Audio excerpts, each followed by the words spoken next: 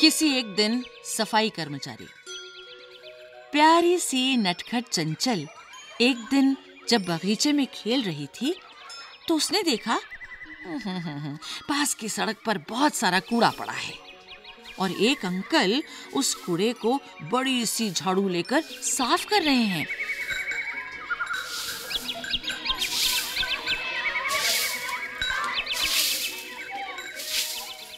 उनको देखकर बातूनी चंचल के मन में बहुत से प्रश्न आए। अरे, ये कौन अंकल हैं जो इतनी बड़ी झाड़ू लेकर सड़क को साफ़ कर रहे हैं?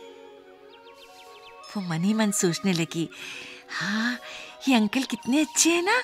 हाँ देखो, सारी सड़क साफ़ कर रहे हैं ताकि कहीं भी गंदगी नज़र ना आए। इनसे मुझे ज़रूर बात करनी चाहिए। बस फिर क्या था? चंचल ने पहला मौका मिलते ही सफ़ाई वाले अंकल से बात करना शुरू कर दिया।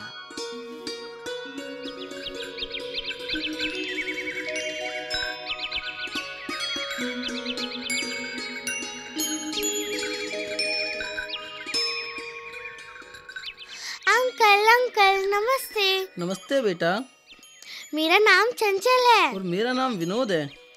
अच्छा विनोद अंकल आप यहाँ झाड़ू क्यों लगा रहे हैं? क्योंकि मेरा झाड़ू लगाने का काम है मैं यहाँ पे सफ़ाई कर्मचारी हूँ। सफ़ाई कर्मचारी? सफ़ाई ही मेरा काम है जैसे आपके पिताजी दफ्तर जाते हैं काम करते हैं ऐसे ही मैं भी यहाँ पे आकर के काम करता हूँ। यही मेरा दफ्तर है। आप इतनी बड़ी रोड पे सफ़ाई करते हैं? नहीं नहीं मैं अकेला नहीं करता मेरे साथ और भी कई कर्मचारी हैं जैसे हॉस्पिटल में अलग होते हैं और स्टेशन पे अलग होते हैं हर जगह अलग अलग होते हैं।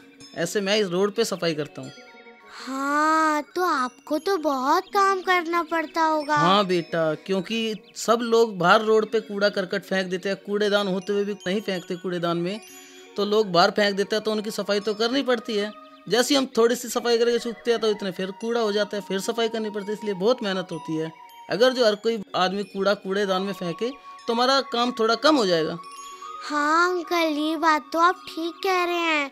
लोग कूड़ादान में कूड़ा ही नहीं फेंकते हैं। यही नहीं बेटा बस की खिड़की में से कार से स्कूटर से सब कूड़ा बाहर फेंक देते हैं। कूड़ेदान का कोई प्रयोग नहीं करता।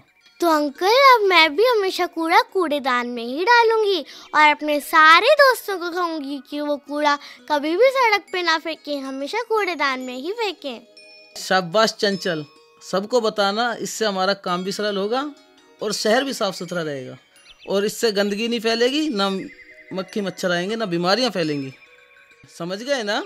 हाँ अंकल मैं समझ गई। अंकल इतनी बड़ी झाड़ू मैं भी एक बार झाड़ू लगा के देख लूँ? लगा लो चलो।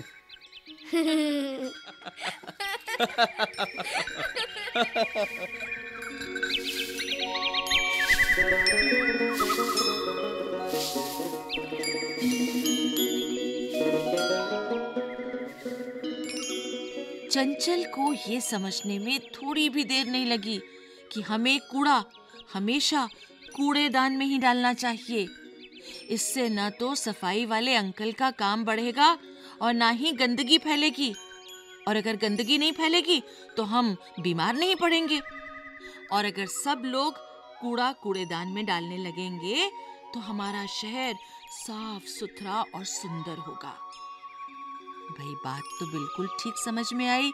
चुलबुली चंचल के सफ़ाई होगी, तभी तो साफ़ सुथरा सुंदर शहर रहेगा ना हमारा? और चंचल ने मनी मन सोच लिया कि अब वो भी कूड़ा कूड़ेदान में ही डालेगी, अपने सब दोस्तों को भी बताएगी कि कूड़ा हमेशा कूड़ेदान में डालो।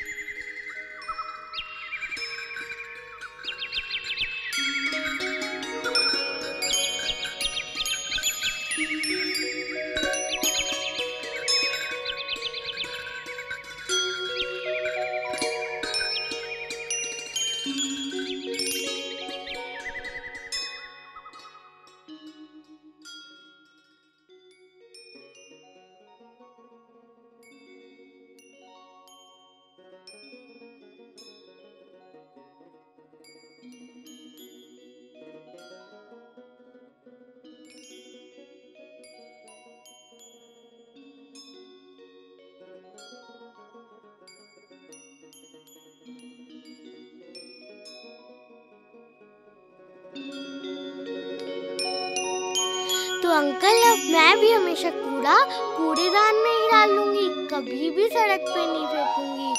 और अपने सारे दोस्तों में कहूँगी कि वो कभी भी कूड़ा सड़क पे ना फेंकें।